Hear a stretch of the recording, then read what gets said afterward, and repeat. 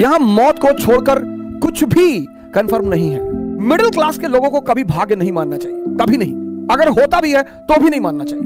दुनिया में सबसे इंपॉर्टेंट चीज़ है डायरेक्शन धनुष मेरे पास भी है राजन। और धनुष अर्जुन के पास भी है। बाण मेरे तुणीर में भी है और बाण उसके तुणीर में भी है।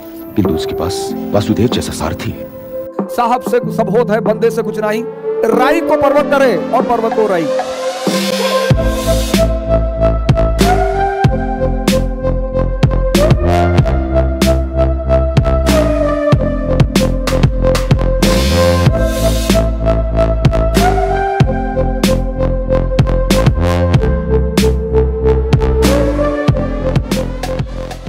में सबसे इंपॉर्टेंट चीज़ है डायरेक्शन जिसको भी मिल गई और समझ में आ गई।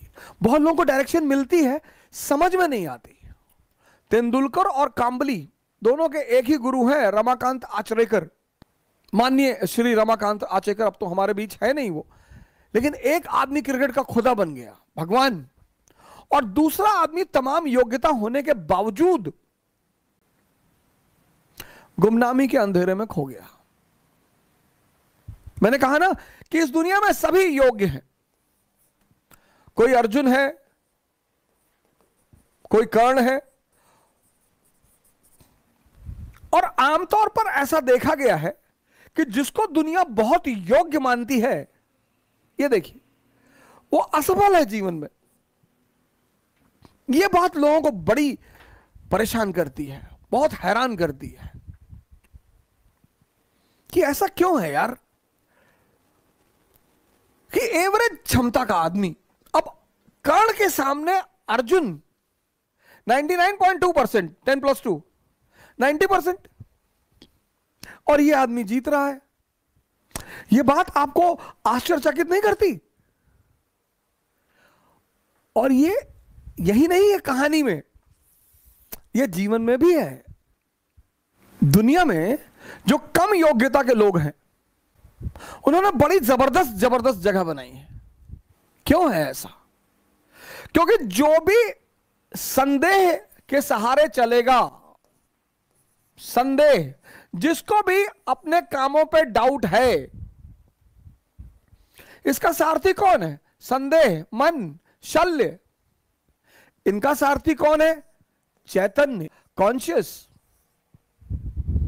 पर जीवन में यह देखो कि तुम्हारा सारथी कौन है। और जीवन हंड्रेड परसेंट रिस्क है। यहाँ मौत को छोड़कर कुछ भी कंफर्म नहीं है। और 98 परसेंट लोग इस दुनिया में हर चीज़ का कंफर्मेशन चाहते हैं। बस ये परेशान है। दो परसेंट रिस्क लेते हैं।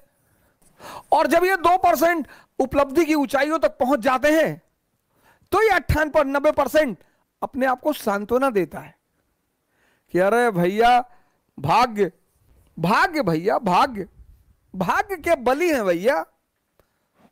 आशीर्वाद मैं मानता हूँ परमात्मा का।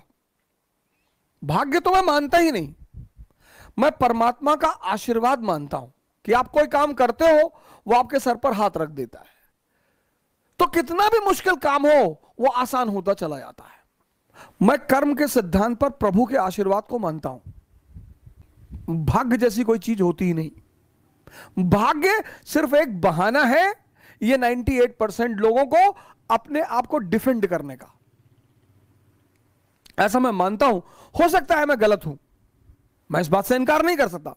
लेकिन हम जैसे लोगों को भाग्य नहीं मानना चाहिए। मिडिल क्लास के लोगों को कभी भाग्य नहीं मानना चाहिए। कभी नहीं। मानना ही नहीं चाहिए। अगर होता भी है तो भी नहीं मानना चाहिए। क्योंकि हमारे पास खोने को कुछ है ही नहीं। हमारे पास क्या था? हमारे पिताजी डाक खाने के बाबू थे हम दो कमरे के मकान में रहते थे। हमारे पास खोने को ही क्या था? लेकिन हमारे पास पाने को पूरी दुनिया थी। इसको हावी मत होने दीजिए।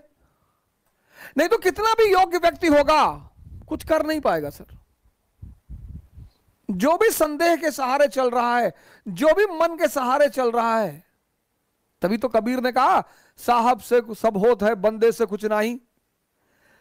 राई को पर्वत करे और पर्वत को राई।